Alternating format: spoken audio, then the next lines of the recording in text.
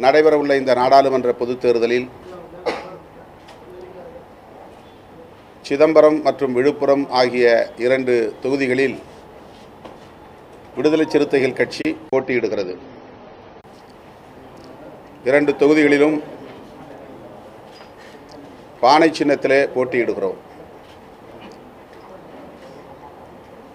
விழுப்புரம் தொகுதியின் வேட்பாளராக மீண்டும் கட்சியின் பொதுச் செயலாளர் எழுத்தாளர் ரவிக்குமார் அவர்கள் போட்டியிடுகிறார்.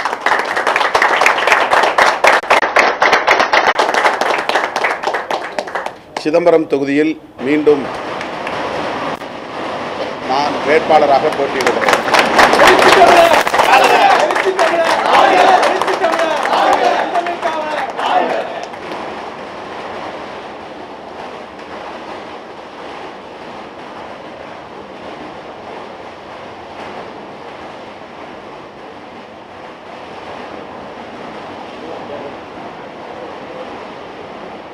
திராவிட முன்னேற்றக் கழகத்தின் தலைமையிலான கூட்டணி. திராவிட முன்னேற்றக் கழகத்தின் தலைமையிலான கூட்டணி. பாண்டிச்சேரி உட்பட நாற்பது தொகுதிகளிலும் மாபெரும் வெற்றி பெறும். விடுதலை சிறுத்தைகள் கட்சி போட்டியிடும் இரண்டு தொகுதிகளிலும் வெற்றி பெற்று இந்த முறை தேர்தல் ஆணையத்தின் அங்கீகாரத்தை பெறுவோம். விழுப்புரம் தொகுதியில் தோழர் ரவிக்குமார் அவர்கள் இரண்டாவது முறையாக களம் காண்கிறார். நான் சிதம்பரம் தொகுதியில் ஆறாவது முறையாக போட்டியிடுகிறேன். ஏற்கனவே இரண்டு முறை அந்த தொகுதியில் மக்கள் வெற்றி வாய்ப்பை தந்தார்கள். இந்த முறையும் நாடாளுமன்றத்திற்கு அனுப்பி வைப்பார்கள் என்ற நம்பிக்கையோடு களம் காண்கிறேன். அகில இந்திய அளவில் இந்தியா கூட்டணிக்கு ஆதரவு பெருகி வருகிறது. குறிப்பாக ராஜீவ் கா ராகுல் காந்தி அவர்கள் மேற்கொண்ட இரண்டு கட்ட பயணம்.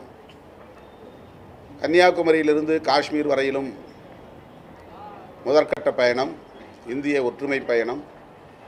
மணிப்பூரிலிருந்து மகாராஷ்டிரா வரையில் இந்திய ஒற்றுமை நீதிக்கான பயணம் என்று இரண்டு கட்டமாக அவர் மேற்கொண்ட பயணம். இந்த நாட்டை பாசிச சக்திகளிடமிருந்து காப்பாற்றுவதற்கான பயணம். இதனை இன்றைக்கு நாட்டு மக்கள் உணரத் தொடங்கியிருக்கிறார்கள்.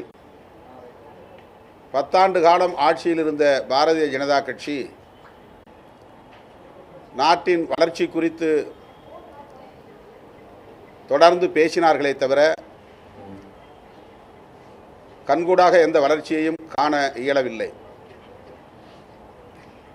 கார்ப்பரேட் நிறுவனங்கள் குறிப்பாக அதானி அம்பானி போன்றவர்கள் உலக பணக்காரர்களின் வரிசையிலே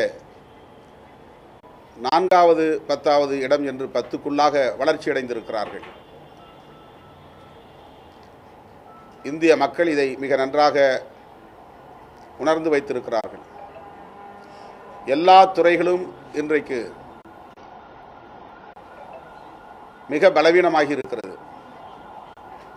பொருளாதார வீழ்ச்சி சத அதல பாதாளத்தில் சரிந்திருக்கிறது. உலகச் சந்தையில் இந்திய ரூபாயின் மதிப்பு மிக கேவலமான முறையிலே வீழ்ந்து கிடக்கிறது.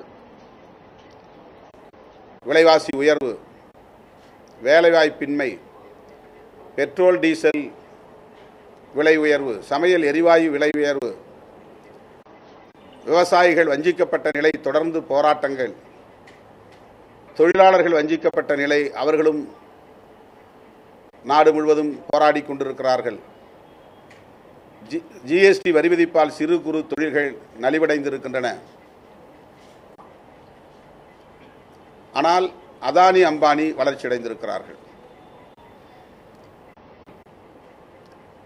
சாதிய மதவாத அரசியலை நாளுக்கு நாள் தீவிரப்படுத்துகிறார்கள். மக்களை சாதியின் பெயராலும் மதத்தின் பெயராலும் பாகுபடுத்தி பிளவுபடுத்தி அதை மேலும் நிலைப்படுத்த முயற்சிக்கிறார்கள். இவை அனைத்தையும் இன்றைக்கு பெரும்பான்மை சமூகமாக இருக்கிற இந்து மக்களே உணர்ந்திருக்கிறார்கள். தமிழ்நாட்டில் மட்டுமல்ல அகில இந்திய அளவிலே ஒரு அமைதி புரட்சி நிகழ இருக்கிறது. இந்தியா கூட்டணியில் பிரதமர் வேட்பாளர் யார் என்று அறிவிக்கப்படாமல் இருக்கலாம். ஆனால் அது மக்களுக்கு இன்றைக்கு ஒரு முக்கியமான தேவையாக இல்லை. பாரதிய ஜனதாவை ஆட்சி அதிகார பீடத்திலிருந்து அப்புறப்படுத்த வேண்டும் என்பதுதான் நாட்டு மக்களின் வேட்கையாக இருக்கிறது. இந்திய அளவில் ஜனநாயகத்தை பாதுகாக்கவும் அரசமைப்பு சட்டத்தை பாதுகாக்கவும் ஒட்டுமொத்தத்தில் நாட்டையும் மக்களையும் பாதுகாக்கவும் இன்றைக்கு மக்கள் ஒருபுறமும் சங் பரிவார் கும்பல் ஒருபுறமும் இந்த தேர்தல் களத்தில் நிற்கிறோம். நாட்டு மக்கள் ஒருபுறம் நிற்கிறார்கள்.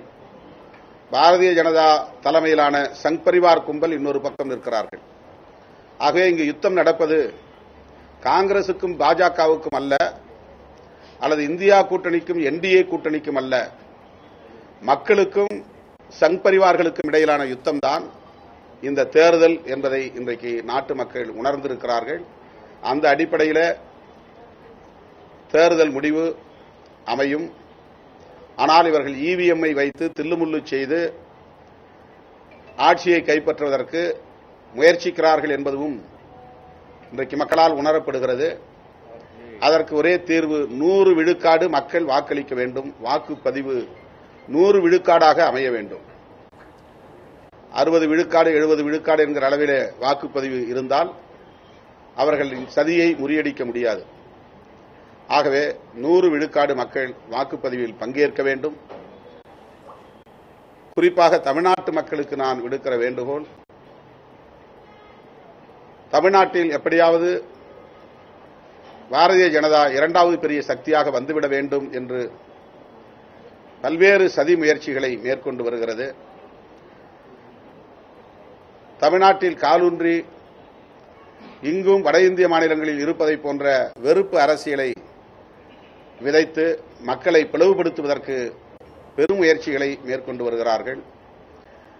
பெரியார் சிலையை சேதப்படுத்த முயற்சிக்கிறார்கள். வள்ளுவர் சிலைக்கு போய் சாயம் பூசுகிறார்கள். வள்ளலாரை சாயம் பூசி தங்களுக்கானவர் என்று உயர்த்தி பிடிக்க பார்க்கிறார்கள். இதுவெல்லாம் அவர்கள் ஏதோ அறியாமையில் செய்கிற ஒன்றல்ல திட்டமிட்டு செய்கிற முயற்சி. திமுகவுக்கும் அதிமுகவுக்கும் இடையிலே தேர்தல்